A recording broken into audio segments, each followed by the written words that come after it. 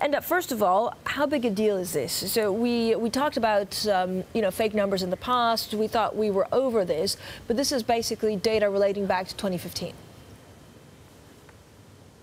Yeah, well, Francine, there are always questions around the stability of China's GDP, and in particular, given when we've had so much uh, volatility and fluctuations in China's markets in 2015, there was, you know, some some of the investor and analyst community were questioning how GDP managed to come in on target as, as the way it is, and there's a suspicion that on the one hand, there's political pressure to meet these GDP targets, and that's felt at the provincial level, and that's why some numbers are massaged. And of course, there's the practical side of things, which is measuring an economy as vast and as diverse as China's is quite complex. So how do you get the number right? But uh, Bloomberg Economics did some work on this, and they found that in 2015, when you look at, for example, electricity output, there's an indication there that perhaps the uh, the final figure that came out at the national level didn't quite match what was happening at provincial level by a number of percentage points, and that reflects, of course, uh, wider concerns about the volatility in China's economy that year. So there's an ongoing lingering suspicion that um, even if transparency is improving, that there's still a, a, feeling among some people that the GDP numbers don't quite capture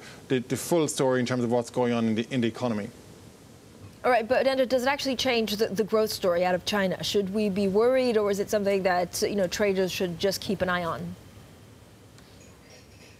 Well, I, you know, bigger picture, um, I think few people argue that China has managed to stabilise its economy right now. Uh, even if you do argue the finer points of what GDP is picking up, they have managed to get it into something of a sweet spot. The markets are stable, and the consumption and the services side of things are coming along. Real progress is being made on the technological side of the economy, uh, even if perhaps some people say they should be going harder on the reforms and on the uh, SOE side of things.